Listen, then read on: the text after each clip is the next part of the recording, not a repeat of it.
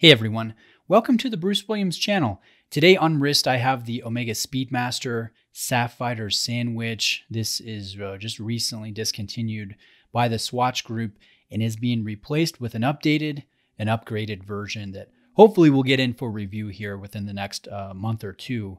But I have a couple things to share with you guys. I've got a box from Saltzman's. I've got a first impressions video to do with a couple beautiful watches from exquisite timepieces. So uh, I'm going to start unboxing this uh, gift here and share with you guys the email that Richard uh, sent to me and to Random Rob. So let's get to it.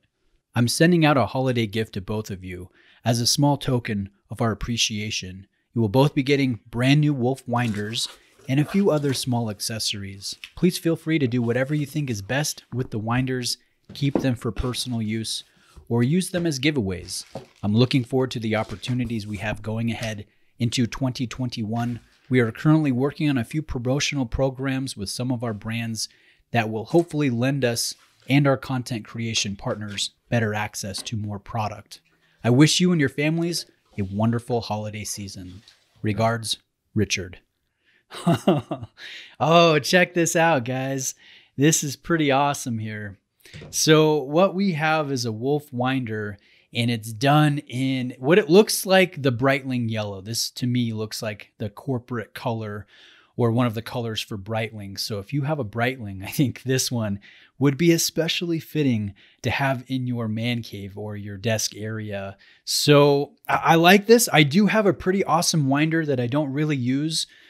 So I'm not going to keep this. Like Richard said, he doesn't mind if I give it away. It's a gift to do with as I please. So I'm going to pass the kindness forward to one of my viewers. And so, um, yeah, hopefully it goes to one of you that have a Breitling because that would be pretty awesome.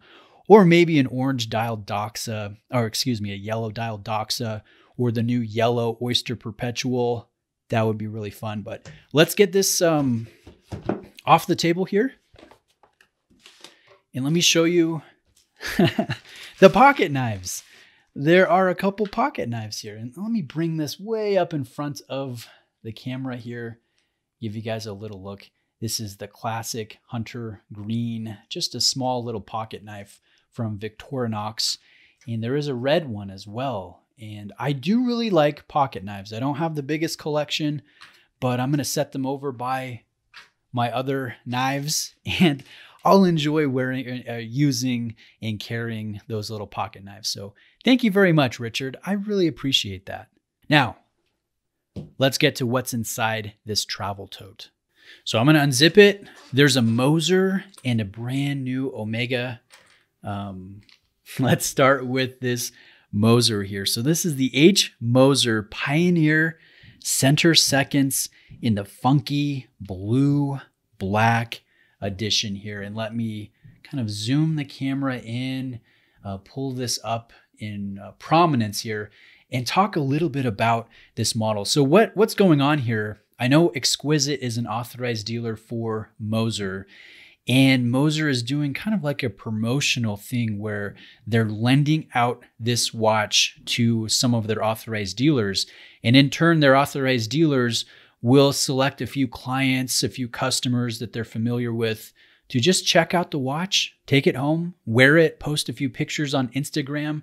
And Exquisite asked if I would like to check this out. And heck yeah, I mean, that is so exciting. I have not seen a Moser in person. This is my first experience with this brand, and I'm happy to do a video. I'm looking forward to kind of comparing this to my uh, Vacheron Constantin Overseas 4500V. But let's talk a couple things, um, just a couple details about the specific funky blue black fume edition here. And I'll edit in a few pictures uh, as well, some wrist shots and whatnot.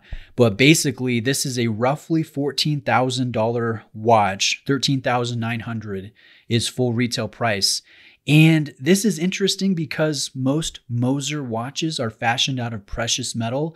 This one is stainless steel and it's a DLC coated stainless steel, so a diamond like coating, very hard to scratch.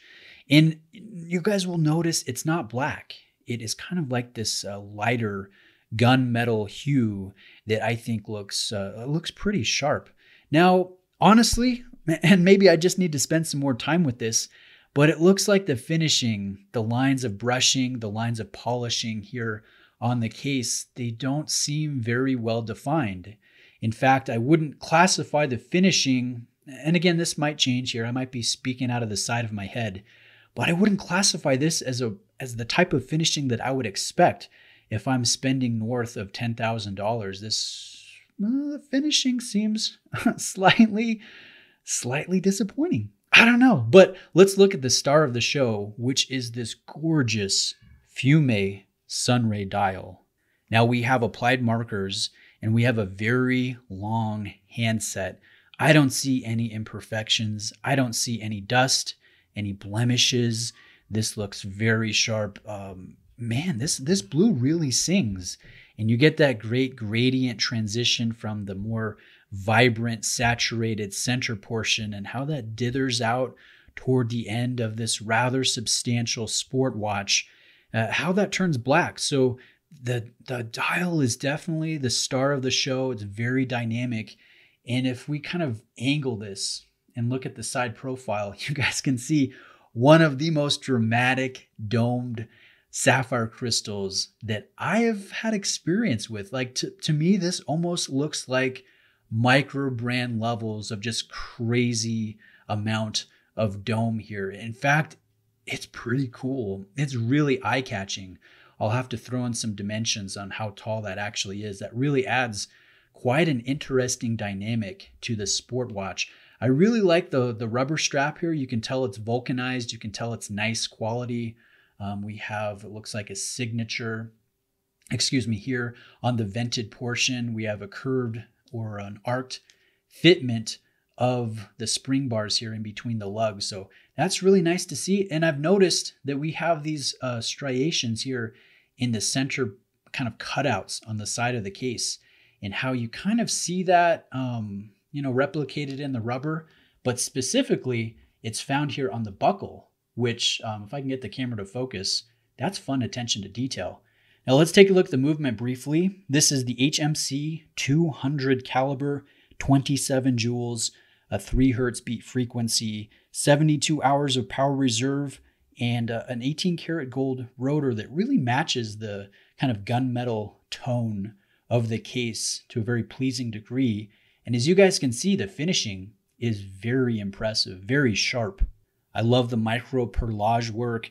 I like this kind of interesting striping here. It's not uniform in its width. You kind of have a long section, then a half section, then a long section alternating, and it looks really nice. And I will drop in some macro video here um, before I post this first impressions, but you guys can see the finish work on the movement is very good. And I like the architecture here. I like the free sprung balance.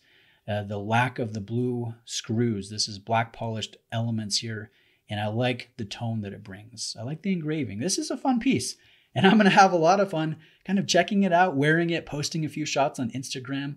And I'd really like to thank Exquisite for the opportunity to check out a very fun independent brand that is really garnering some nice respect amongst us watch enthusiasts. So let's uh, set this off to the side and let's take a look at the other watch in this case. So, what we have here is the brand new constellation from Omega, but in the larger 41 millimeter size. Let's move that out of the way and take a look at this beautiful silver textured dial.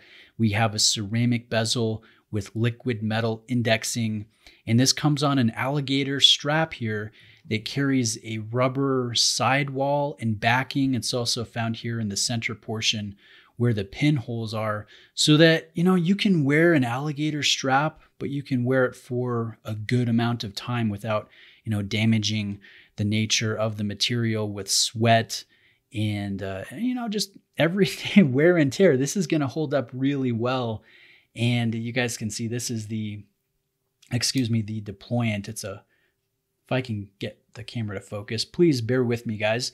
This is a push button signed um, buckle. Man, I'm starting to flub now. But but let's talk about the details of this constellation. So what we have is the 8900 caliber, 25,200 beats per hour 39 jewels, a 60 hour power reserve. This was Omega's first master coaxial certified movement, certified by the Swiss Federal Institute of Metrology. We have twin barrel architecture. And what, what I love here, instead of a quick set date when the crown is in the first position, we have a time zone feature, which I've got to say, wish every watch carried that complication. I find it so practical when it comes to daylight savings, when it comes to adjusting the date at the end of an odd month where you need to go from, you know, either 30 to 1 or, or something like that. It's so easy. Or uh, better yet, if you travel and you switch time zones, it takes a number of seconds to adjust the hour hand without hacking the balance and I love that. So it's great to see here. It's not found in the new 39 millimeter version that does not carry the ceramic bezel. Sadly, that's the 8800 caliber, but this one has the 8900. And let's talk about the way it wears and fits. I'll give you guys some wrist shots. My wrists are 7.25 inches in circumference. And I've got to say, I was a little worried that the 41 millimeter would just be too dominant on wrist, but that's certainly not the case in my opinion, this uh, works very well. It's slightly tall, but it sits nicely on wrist. There's a good taper to this alligator slash rubber strap.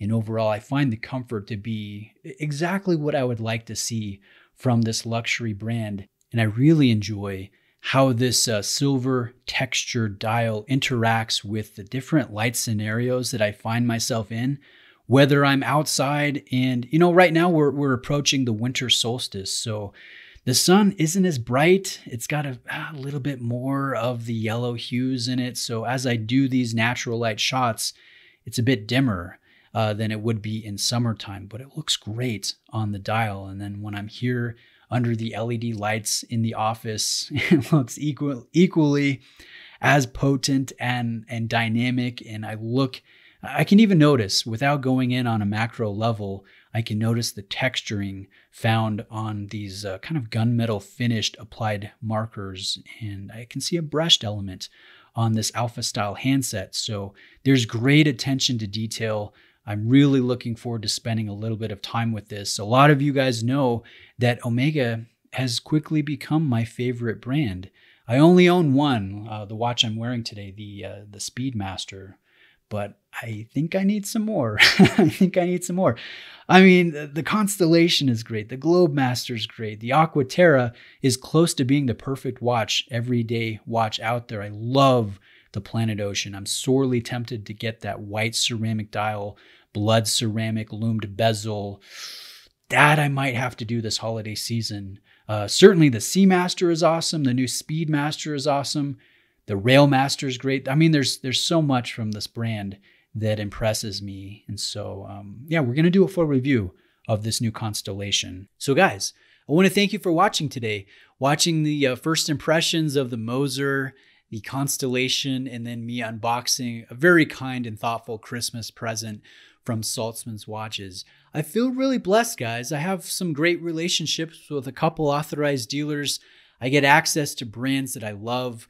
I get to borrow watches, create videos on, and share with you guys. And I look forward to a great 2021 working with both of these authorized dealers. So, Richard, thank you so much for the kind, thoughtful gift. I will be doing the giveaway of the yellow winder. And uh, I've also talked to Nick at Exquisite, who's told me that uh, he's trying to get um, his store to fly me out to Florida so I can film um, and check out the the the the showroom in Naples, Florida. So hopefully that happens this year. Again, I feel really blessed. Thanks for indulging me today. Thanks for watching. Let me know if there's specific things you would like to see in the full review of the Moser and the Omega. And I hope you guys have a great evening. I'll see you in the next one.